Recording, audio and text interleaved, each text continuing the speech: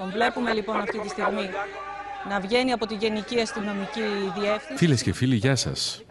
Η Χρυσαυγιάδα συνεχίζεται με αμύωτους ρυθμούς και όσοι προώθησαν έμεσα ή άμεσα τη Χρυσή Αυγή σφυρίζουν αδιάφορα. Περνάγανε από τις εκπομπές σας, ας πούμε, και τους μιλάγατε σαν να είναι κανονικά. Δεν τους ξέραμε τότε όμως. Το ήταν 0,3% ήταν, ούτε το 0,17 ήταν. Τέτοια αθότητα στις μέρες μας, κύριε Πρετεντέρη. 0,17 ήταν. Υπάρχει ένα σενάριο που λέει ότι όπως οι τράπεζες χωρίζονται σε υγιές και προβληματικό κομμάτι, το υγιές κομμάτι μοσχοπουλιέται και το προβληματικό φορτώνεται στο κράτος, έτσι θα γίνει και με την Χρυσαυγή. Χρυσή Αυγή εννοούσα. Οι καταδικασμένοι στην αφάνεια και οι αθώοι στο κοινοβούλιο, σε κανένα υπουργείο, αναλόγως στις ανάγκες της ψευτοδημοκρατίας. Γιατί δυστυχώς και τα μικρά κόμματα τα οποία καταφέρνουν να έχουν πρόσβαση στα μέσα μαζικής εξημέρωσης είναι φυτόρια για νέα στελέχη του συστήματος. Όλα τα μικρά κόμματα! Πιθανώς τα περισσότερα. Ό,τι έγινε και με τα στελέχη του εξωτικού λάος.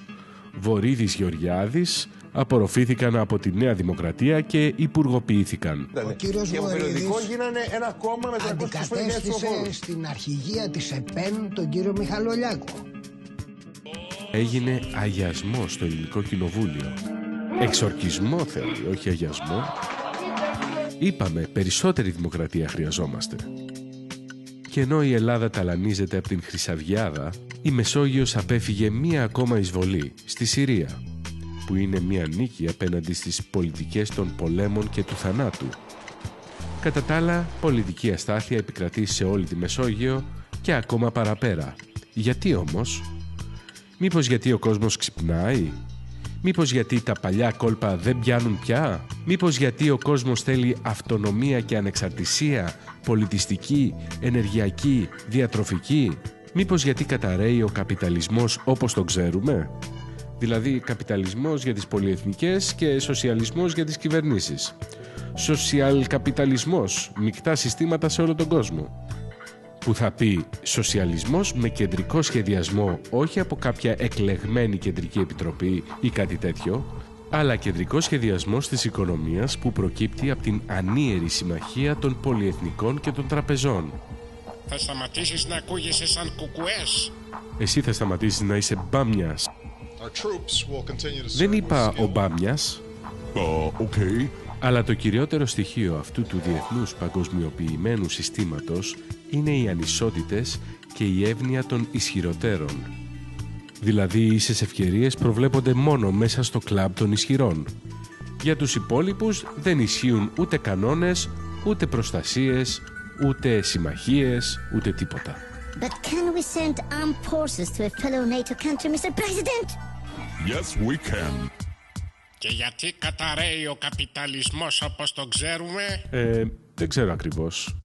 Αλλά αυτό που ξέρω με σιγουριά είναι ότι μας διοικούν τρελοί, οι οποίοι μάλιστα προωθούνται από άλλους τρελούς, οι οποίοι δεν αφήνουν κανένα λογικό άνθρωπο να πλησιάσει τις δομές διοίκησης και κυβέρνησης κανενός κράτους.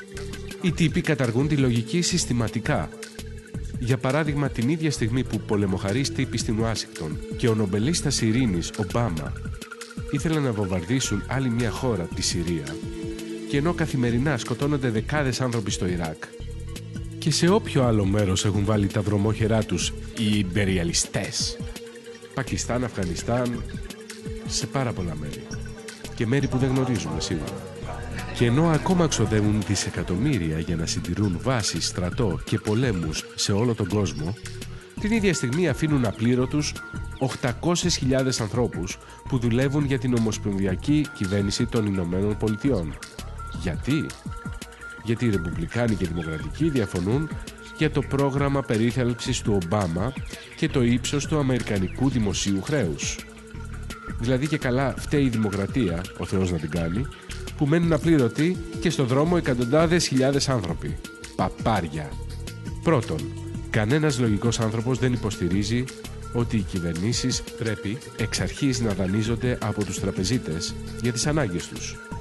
Και δεύτερον, κανένας λογικός άνθρωπος δεν πιστεύει ότι αυτά τα συστηματάκια διακυβέρνησης είναι δημοκρατία.